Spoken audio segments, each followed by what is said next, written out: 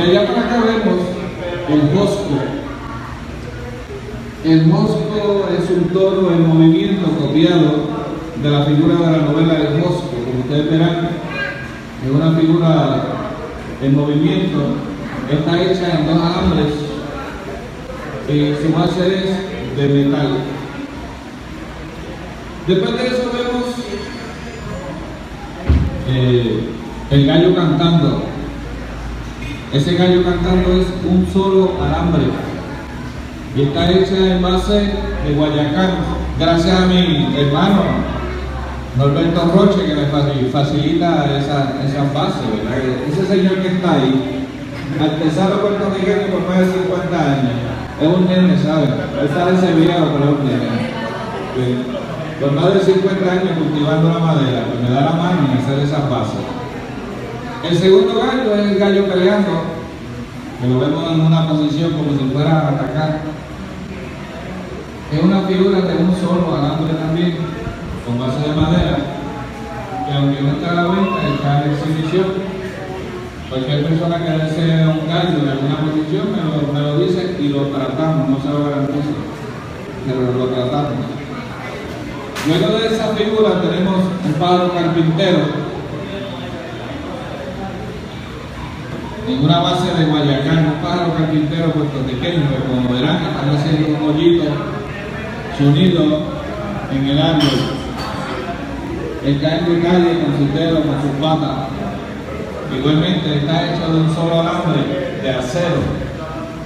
Bueno, ya les hablé del próximo que es el Quijote, que fue mi primera obra.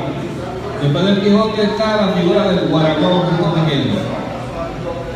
Esa figura del Guaraguao puertorriqueño tiene su historia, para conseguir esa posición, las medidas, tratar de eh, como es el cuerpo del Guaraguao, conllevó muchas horas de trabajo y está hecho en alambre de acero, tela de string a los niños sobre una base de Guayacán y algunos adornos.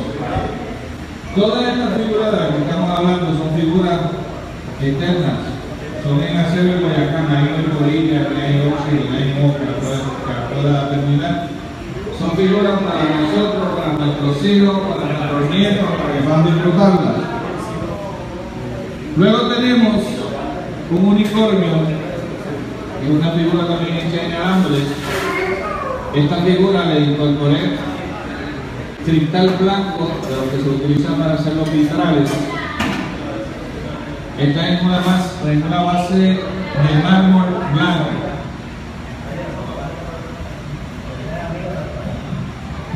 Luego pasamos al cuatro alegre. La historia de ese cuadro es larguísima, pero como ustedes verán, es un cuadro de verdad.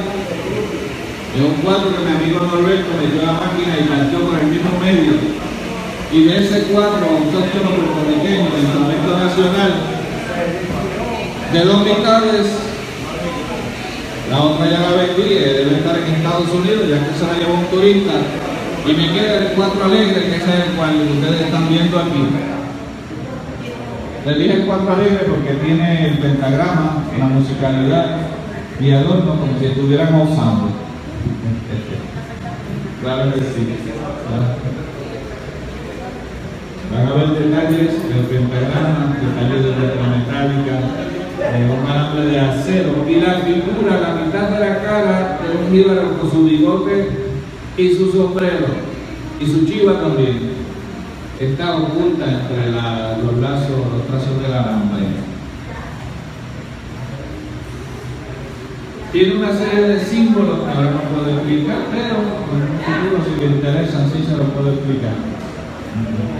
Y aquí tenemos, para terminar, esta figura que está aquí, el dúo cerebro, somos nosotros. Aquí tenemos a Melvin, que es el que está tocando la guitarra, y ese calvito que está ahí, soy yo con el cuarto en un stand.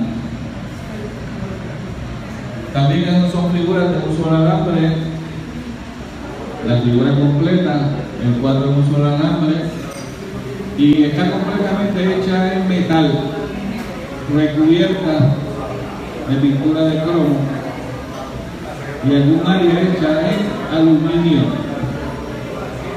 Por ahora, esas son las figuras que vamos a exhibir aquí, aunque tengo otras obras en mi casa, esperamos irlas intercambiando. Así que a sus órdenes, José Antonio Rodríguez Coche, teléfono 787-635-2818. También me consiguen en la página de internet agiterapia.com para todo el mundo. Así que disfruten, estaremos haciendo un poco de nuestra música durante la noche de hoy. Muchas gracias.